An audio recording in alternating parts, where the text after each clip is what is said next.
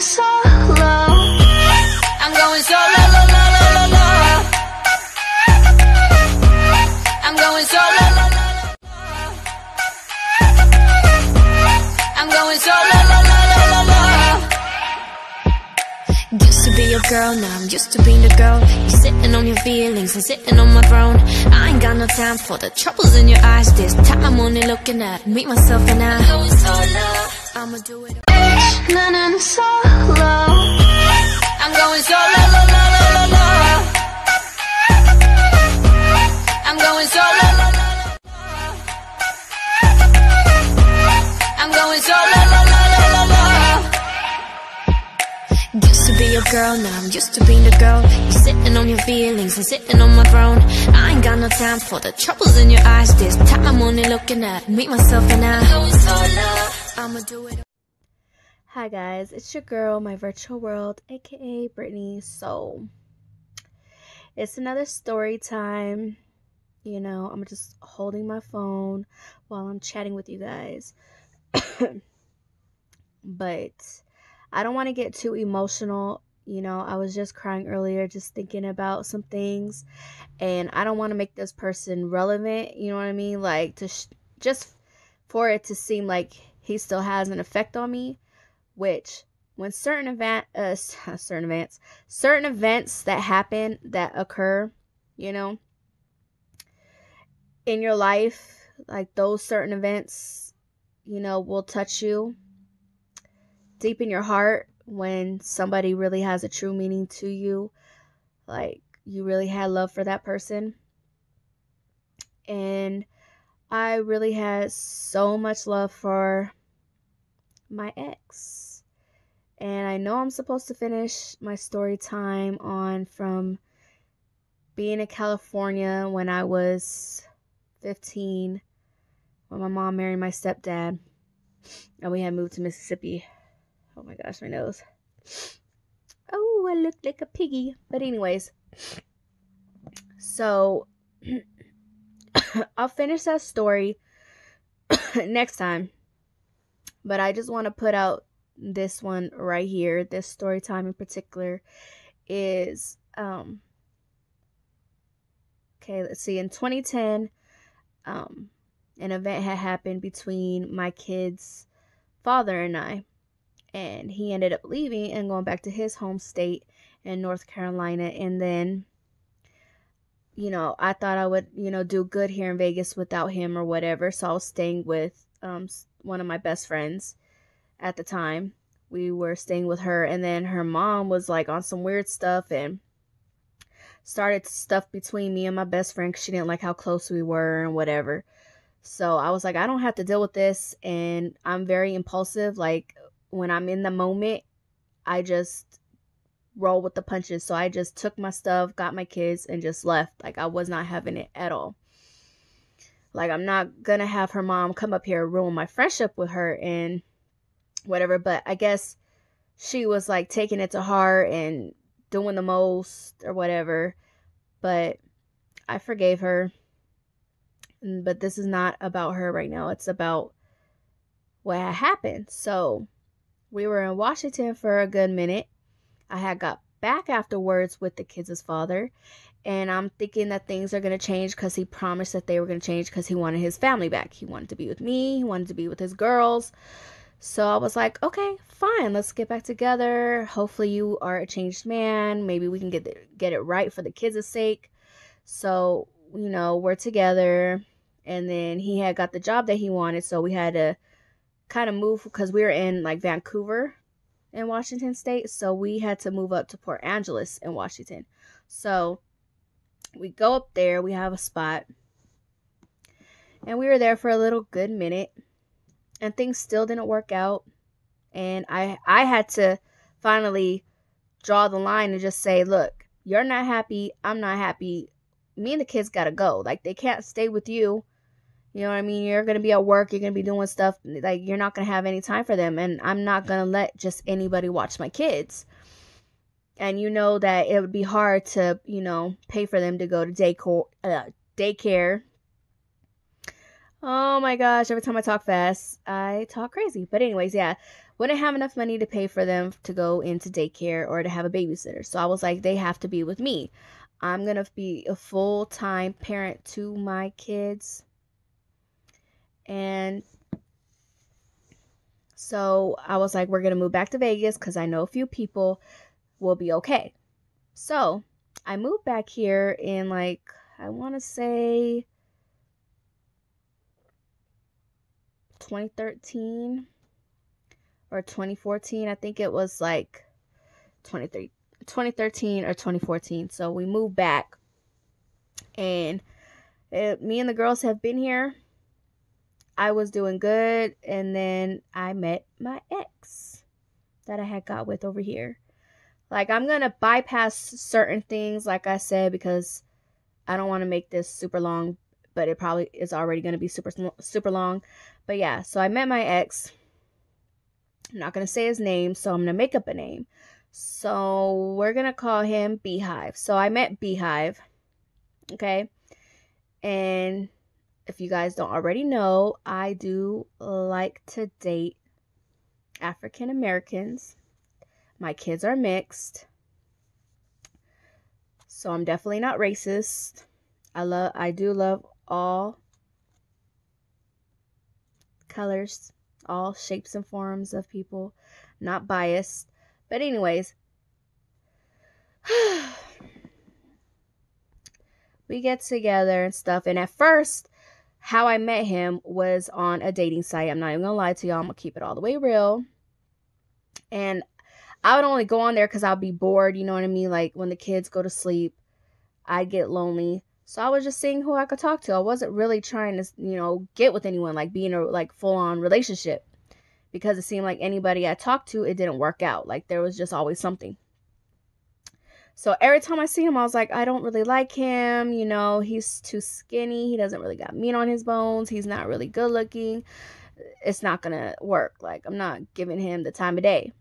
And then he just kept being persistent. He just kept hitting me up, hitting me up, hitting me up. So then I was like, you know what? This dude is really trying to get my attention. Let me give him a shot. Let me see what he's about. So I give him a shot just for him to waste my time. Just for him to waste my time. Crazy, right? I know. So, trying to move my little hair since it's short, but we're together and at first it was really good like it wasn't really bad and you know there was things that he had did that would make things questionable but i still like gave him a chance and i really wanted to be with him so i said i fully do just want us to be together. Let's make this happen. I love you. You know i want you to like mainly just stay with me. I don't want you living anywhere else not knowing he was in a relationship before he got with me. That's not what was told to me. He said he had a female roommate. But later on in our relationship, we get in an argument, and he said, Oh, you knew what you was getting into. I was in a whole other relationship, and you wanted me to be with you. No, that's not how it happened. That, no. Stop lying. I did not know that. You said she was a female roommate. But why do these men gotta lie for? But anyways, I don't know if he just said that to like make me mad, but whatever. If he's gonna say I knew something, it was that he was, you know, an ass. Sorry, kids, if any kids watch this, but I shouldn't even cuss. Anyways, he was a hole. You know, lying, treating me like dirt, saying certain stuff to me just because I be having little slow moments. Like I told you guys, I do have little slow moments. You be thinking I'm blonde or something if you be around me. But then there could be times you have a conversation with me and I can talk very, very intelligently. Okay? Very intelligently.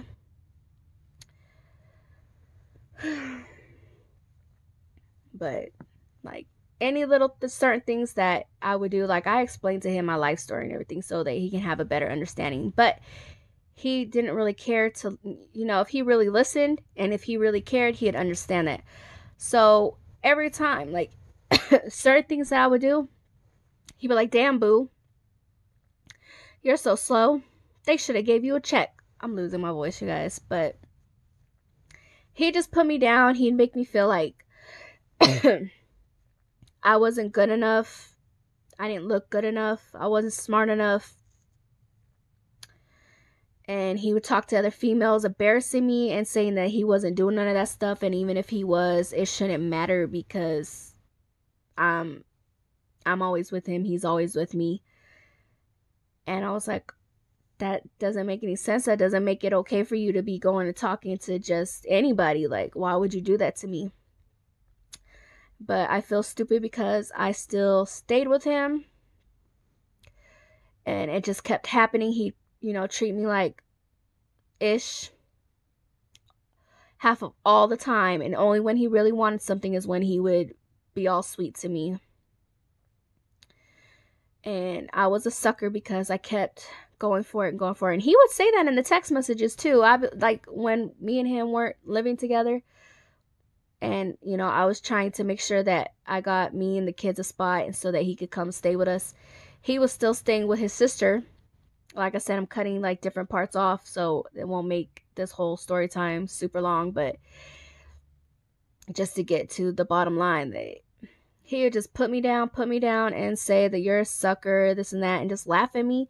And then again, when he really wanted something, he'd be all sweet. And then there would be times where he would say, You don't get it, you're stupid, this and this and that. And then I would get calls from these random females talking about, She's with him, I'm stupid, let me stay being stupid for him and for me to keep sending him money so that he can get her nails done, this and this and that. And I confronted him about that, and he was telling me that's not true, that's not true um, let's call them up together and um, confront them and see if they say the same stuff. So he was talking to them and he was just laughing and he was like, My boo ain't tripping off of you.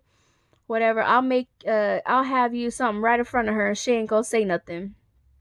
It's just, it was a crazy relationship and I'm glad he's out of my life now. It took me a long time, guys. Trust me. I didn't cut him off really quick. Yeah, I was stupid. I should have known better being how old I am but I really did love him and I didn't want to let him go. I did that with when with my kids' dad. I stayed with him for the longest time because I didn't want to be a broken home, like a broken family. Like I wanted my kids to have their dad in their life. I never did have my dad in my life till I pretty much was an adult. Like you can't get time like that back. And I wanted my kids to have their father and their mother. But if you guys have questions about you know, what happened. How did I deal with the whole thing whatever? I cried. I was hurt. I was angry. And finally, just up to recently now, I finally seen his real colors because I skipped a part. While this whole time he would cheat and he would lie and all that stuff, and he'd stop talking to me because I didn't even say all that. He stopped talking to me. He cut me off, or I'd cut him off because I'd be tired of his stuff and then later on I'd be missing him and then I let him back in or he he'll find a way to contact me. He wouldn't just let me go cuz he knew I'd be a sucker for him. I'd take him back, whatever. I had those moments for him. Very very weak moments and he knew it. So he took advantage of it. So he'd just come back and be like I said he'd have his little sweet moments and then he'd back to he'd be back to being a hole and doing the same old stuff and he would swear to me because he already had two kids with um his baby mother who's not here anymore. She's died a year a few years ago, bad accident or something. I forgot what happened, but I just know that she is not here no more. God rest her soul. I'm very cool like that. I don't know her, so I don't have no drama against her. But he's not involved in his boys' life. The grandmother has them, and she doesn't want him to have no part in their lives. So he really wanted to have more kids. And so he was telling me he was going to have a whole bunch of different babies. I don't know if he was just jokingly talking about that, but I know I said I wanted to have a son because I have three daughters, and it would be nice if I had the son with him because I am with him and I love him, and we would have a beautiful baby. So as time went by, right, he swore up and down he would not do that to me. He even met my mom when my mom finally moved down here to be with me after my grandma had passed. I was like, Mom, you need to be with me. The care that you need and all the stuff, you can get that here in Vegas. I just want my mom. I've been going through some stuff. I really need you. to have my back and all that stuff. So she came out here to be with me and the girls. I had my brother come out here first, my youngest brother. And anyways, so he told my mom, just like he said in front of me, that, oh, your daughter knows I would never hurt her. I wouldn't do that to her. I wouldn't do her dirty like that. I wouldn't just go be with somebody else and get them knocked up. Not denying that he would mess with somebody else. He just said he wouldn't get them knocked. Like they wouldn't be allowed to have his kid. That it'd only be reserved for me to have his next child, to have his baby boy. So I'm like, whatever. So we'd have our moments, like I said, when I'd call him on his bullish and cut him off because I knew that he was playing me. You know, he would get mad. He'd be like, Oh, you were mad at me? You didn't want to talk to me? So he'd stay away again. That was his excuse because I, I was upset with him and I didn't want nothing to do with him.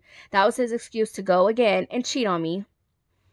And apparently he was talking to somebody else and got her pregnant. And then this woman had the nerve to call me a homewrecker, but I was with him for the longest and he was cheating on me.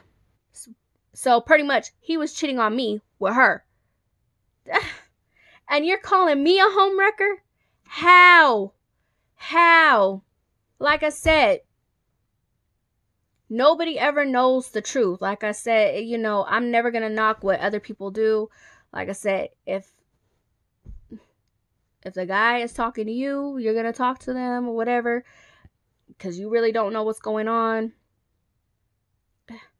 But he was playing me. He was mine. The whole the whole point is to me is like I said, I'm not judging nobody, none, none of that.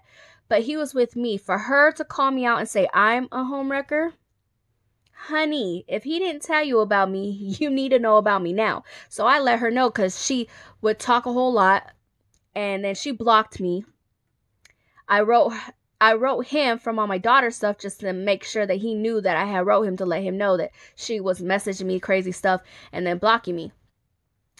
And he was like, "Oh yeah, that's my baby mama doing that. She crazy, Uh-huh, but she can't stop me. I'm gonna talk to you all that I want to. You will always be my boo. All that stuff. That's what he said to me." And he would pull up in her car and all this stuff, and I'm telling him like, "You're pretty much telling me to my face that you are in a relationship with her." But all this other stuff.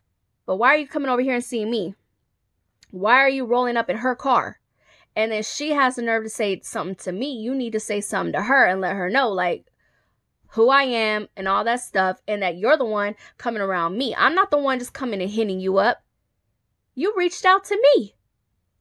You would check on me and ask me what I'm doing and if I could, you know, help you out and give you some money and all this other extra stuff to look out for him that she's not able to because she has to take care of you know the roof over their head and bills or whatever and taking care of their son and she got other kids that's you know not with him and i'm like okay but i'm a single mother with three kids and you rather take from me and i'm dumb enough to give it to you even though i know i was good and the kids are going to be good i still would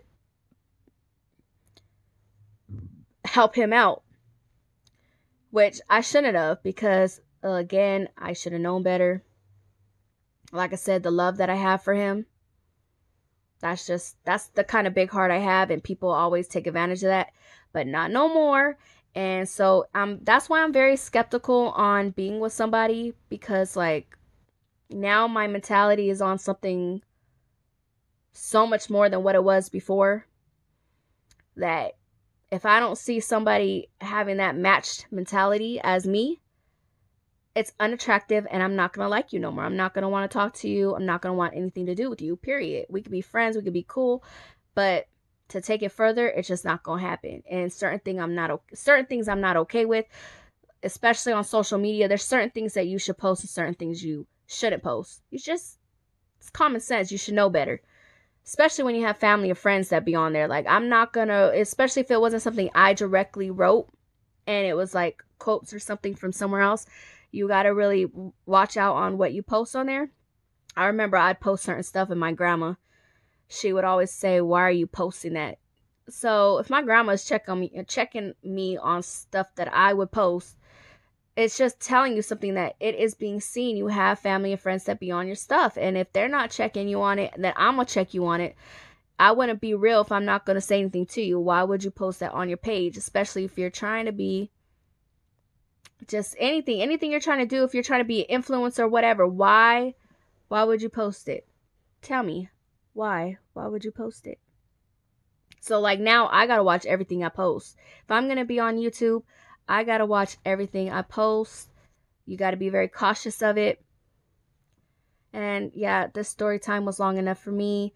Like I said, if you guys have any questions, just comment down below. You guys can say what you want about me, but that was my experience with him. I finally had cut him off. It's a wrap. I don't know if he's keeping his distance. I know that he tried to talk to me even after the fact, and I told him I'm not going to allow him or anybody else to disrespect me, and I'm definitely not going to have his baby mama disrespect me if she don't know the truth. Cuz he said I don't have love for him no more that um I'm like pretty much portrayed him in a way or whatever. For what? Because I told her the truth because she kept coming at me because I'm cutting you off because I'm not going to deal with it no more. No, you did all that, not me. You. And karma will find his way back to him. If it don't, then God really highly fire uh fire. God truly favors him and I will never curse him. I would never want anything bad to happen to him. I wish him nothing but the best. I've told him that. But he needs to just stick with her. But like I said, karma is a mug and it will come back to you because it definitely came back on me for certain stuff that I should have never done. But I'll save all that for you guys in the next story time. I love you guys. Bye, my virtual family. Mwah.